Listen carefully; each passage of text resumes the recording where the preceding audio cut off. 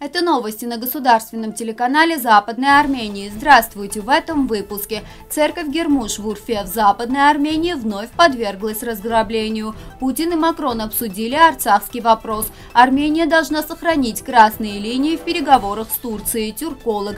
Праздники Йозгата в Западной Армении. Какие проблемы есть у научного центра Качар? Руководитель проводит итоги работы за прошедший год. В Каринтак церковь Святой Аствацатин Арцаха подвергается вандализму. Армянская церковь Гермуш в провинции Халиле, штата Урфа, Западной Армении, построенная в XIX веке, брошена на произвол судьбы. Историческая церковь восхищает своей красочной архитектурой. Обещания восстановить церковь, которая все еще стоит в 21 веке, так и остались в воздухе. Никаких работ по сохранению или восстановлению храма не проводилось. Церковь, которая была разграблена после геноцида армян в 1915 году, сейчас является целью охотников охотников за сокровищами. Не только эта церковь, но и могилы были снесены, школы разрушены, а поселения стерты с лица земли. В окрестностях села остались только остатки монастырей святого Аванеса, святого Фадея, святого Акопа и святого Минаса. Россия и Франция подтвердили важность работы сопредседателя Минской группы ОБСЕ в урегулировании арцахского конфликта. Об этом заявил президент России Владимир Путин после переговоров с Эммануэлем Макроном. При обсуждении ситуации вокруг Арцаха была подчеркнута позитивная роль российских миротворцев, которые обеспечивают соблюдение режима прекращения огня и помогают людям вернуться к мирной жизни. Мы подтвердили важность сопредседателя Минской группы ОБСЕ в решении гуманитарных социально-экономических вопросов в регионе, сказал президент Российской Федерации. Макрон также представил результаты недавней видеоконференции с президентом Совета Европы Шарлом Мишелем, лидерами Армении и Азербайджана переговорах с Турцией Армения должна строго придерживаться своих красных линий и ни в коем случае не переходить их. Такое мнение высказал академик Армении тюрколог Рубен Сафрастян. Геноцид армян, его признание, арцахский вопрос, Карское соглашение – все эти вопросы и проблемы тесно связаны с идентичностью армянского народа,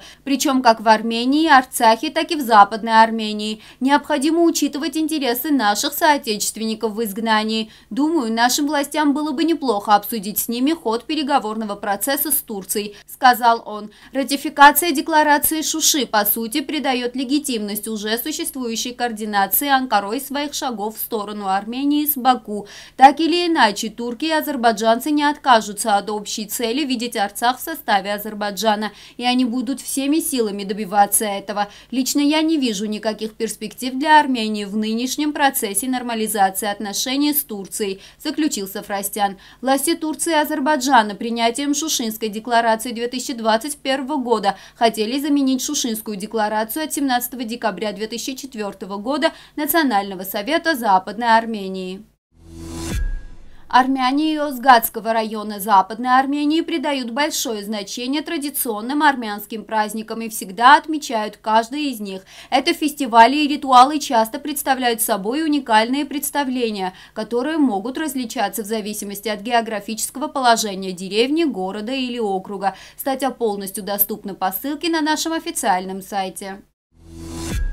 В оккупированном Шуши, потеряв материалы исторического значения и все библиотечное имущество, собранное и научно разработанное научным центром Качар в течение 14 лет, сейчас для восполнения нехватки стало приоритетным улучшение и расширение сайта Качар, что позволит фонду сделать всю информацию об Арцахе доступной для исследователей. Об этом заявил президент научного центра Качар, доцент Магера Рутюнян, касаясь деятельности организации в 2021 году. По по словам Арутюняна, при поддержке Министерства образования и науки опубликован сборник материалов международной онлайн-конференции, посвященной столетию геноцида армян в Шуши, в которой с новыми фактами рассказывается геноцидная политика Азербайджана и факты преступления азербайджанцев в Шуши и других армянских населенных пунктов. В марте 2021 года пользователь по имени Карабах Хонор разместил на своем YouTube-канале видео, где видно, что церковь Святой Аствацатим в Каринтак, перешедшая под контроль Азербайджана после 44-дневной войны, подвергается вандализму. Об этом пишет сайт, занимающийся мониторингом культурного наследия Арцаха. На видео четко видно, что престол церковной скинии разбит, внутри храм перевернут вверх дном. Азербайджанские солдаты взбираются на скинию, оскверняют ее и входят в храм хранилища, которые также перевернуты вверх дном.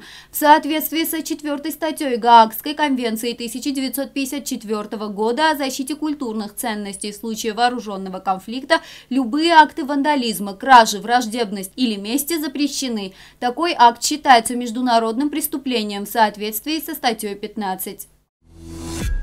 Далее для вас армянская народная мелодия.